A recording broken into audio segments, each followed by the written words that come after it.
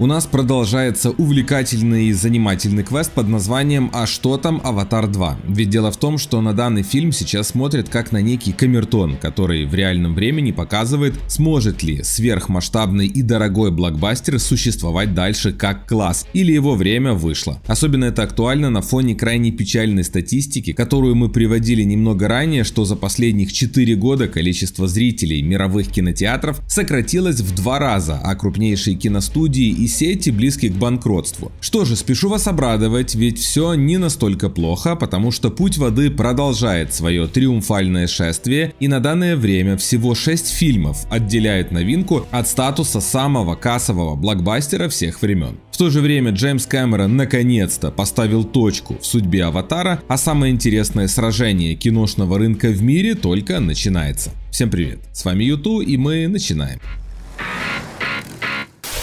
Ну что же, все мы уже прекрасно знаем, что общие затраты на фильм «Аватар 2», если посчитать производство и рекламу, составили от 500 до 700 миллионов долларов, что сделало этот фильм самым дорогим в истории кино. Все мы также в курсе, что Джеймс Кэмерон заявлял о сумме в 2 миллиарда сборов, как о том минимуме, который позволит сиквелу не только окупиться, но и заработать достаточно, дабы затея со съемками еще трех мега крутых и дорогих блокбастеров оставалась интересной киноделом. Что же, триумф Триумфальное шествие фильма «Путь воды» на этих выходных немного убавило невероятные темпы, но все равно осталось на высоте. А именно, за прошедшую неделю «Путь воды» продемонстрировал падение сборов на 33%, что в целом очень достойный результат, учитывая, что до того фильм вообще не потерял в прокате, и вот общие сборы сиквела наконец-то перевалили за полмиллиарда внутри США и за 1 миллиард 700 миллионов долларов в общем зачете. Таким образом, «Путь воды» обогнал очередной мега крутой блокбастер «Мир юрского периода», собравший в 2015 году миллиарды и 650 миллионов долларов, тем самым «Аватар 2» переместился на седьмое место в списке самых кассовых фильмов всех времен. И это менее чем за месяц, такой вот подарок для Джеймса Кэмерона. Мы с вами, конечно, о таких подарках даже не мечтаем, но все равно хочется удивляться чему-то хорошему, как это произошло с нежданным мега-успехом второго «Аватара». Ну, например, получить новый смартфон почти на шару или другие прикольные гаджеты. Да, это возможно, забрать топовый смартфон, а если повезет, то и последнюю 14 в десятки раз дешевле на Crazy Box. Это интернет-магазин сюрприз коробок и их тут действительно очень много, начиная с игровых и заканчивая коробками с телефонами. К примеру, если открыть коробку смартфонов, то можно получить абсолютно любой телефон. Это может быть как Samsung за 15 тысяч, а если повезет, то и последний iPhone. Выигранный приз заказывай себе, либо продавай обратно сайту и получай за него деньги. Но сначала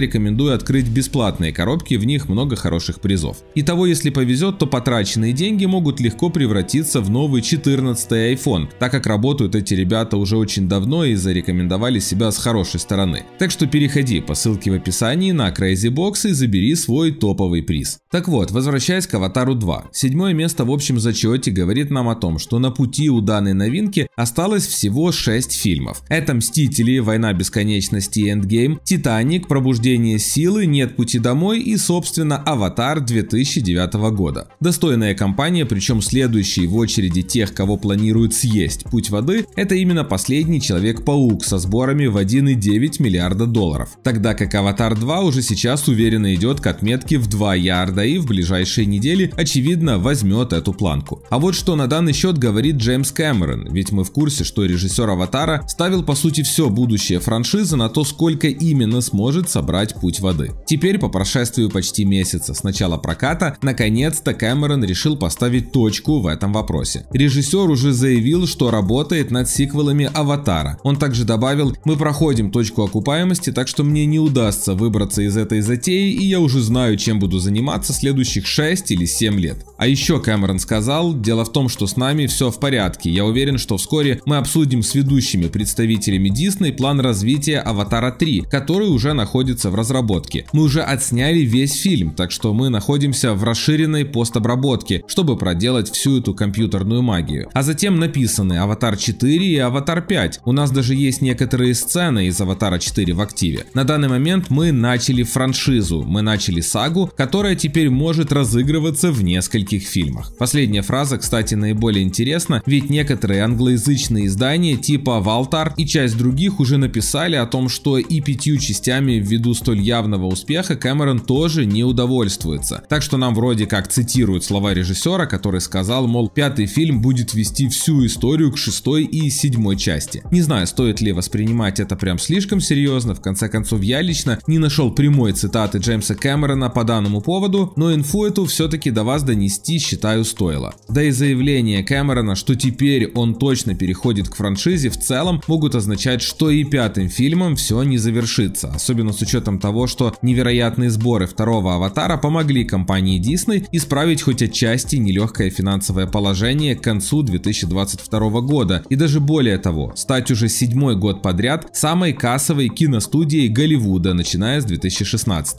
Так что Дом Мыши будет руками и ногами за расширение франшизы Аватара, как минимум пока эта франшиза приносит столь существенные сборы, а мы недавно с вами говорили, что Путь воды набирает гораздо активнее и быстрее, чем Аватар 2009 года, и если не произойдет прям существенного падения доходов, то сиквел имеет все шансы отобрать корону самого кассового фильма всех времен у своего предшественника. Так что в ближайший месяц мы с вами будем наблюдать самую интересную и захватывающую борьбу между крупнейшими блокбастерами всех времен за звание наиболее кассового фильма. И в этой борьбе Путь воды уж точно не намерен сдавать свои позиции. Что же касается расширения данной вселенной, то недавно мы узнали от продюсера Аватара, что в пятой части по сюжету Нави даже отправятся на погибающую землю, ну а главные роли постепенно будут перетекать к детям Джейка и Нейтири, так что с подобным развитием истории я лично не удивлюсь, если в Доме Мыши дадут добро на создание целой вселенной со спин телевизионными проектами и так далее. При условии, конечно, что эти супер дорогие фильмы и далее будут себя окупать. Тем более, что и Кэмерон как-то ранее говорил вскользь о Марвел и о том, мол, сейчас это крупнейшая франшиза в мире лишь потому, что за 14 лет они сняли десятки фильмов, а его Кэмерона Аватар вышел только второй, давая понять, что увеличив количество проектов, вселенная Аватара сможет не только потягаться, но может и заткнуть за пояс детище Кевина Файги. Что же, это очень интересная история, в конце концов Путь воды уверен постарается отобрать второе почетное место самого кассового фильма в мире у Эндгейма, установив свою гегемонию, и если уже это произойдет, что довольно вероятно, то последние прожженные скептики, уверен, изменят свое мнение. В общем, на этом мы на сегодня заканчиваем. Пишите ваши комментарии, обязательно подписывайтесь на наш канал, чтобы ничего интересного не пропустить, а также ставьте лайки. Спасибо всем за просмотр. Пока-пока.